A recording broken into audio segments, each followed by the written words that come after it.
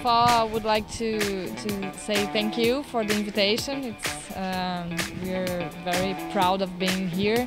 It's amazing. The place is really beautiful, and we're very happy to be here. And yeah, let's show Brazilian fashion to all of you, and maybe we can cooperate and give I don't know, insights about fashion that maybe it could be interesting for Guadeloupe and Caribbean people.